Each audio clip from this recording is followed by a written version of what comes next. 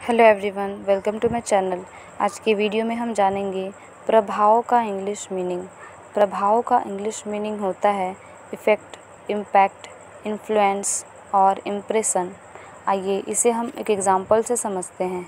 It will have a bad effect on children. यहाँ effect का मतलब प्रभाव होता है।